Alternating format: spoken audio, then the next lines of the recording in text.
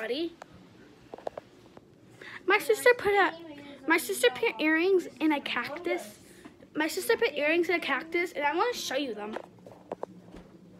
Oh, this is the earring my sister put the cactus in.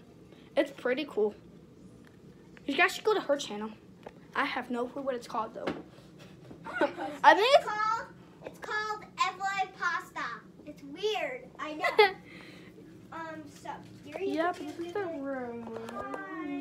Your YouTube. He has he has a Video and go check it out. It's really nice. We're gonna that he just got it, so we're gonna make some videos and you better check out it out. Or else you with one eye open tonight. Yeah, you guys are gonna sleep with one eye open tonight. If you don't check out our YouTube channel. But So um, I have a mystery solved from New Wavy. What? Okay. Bye.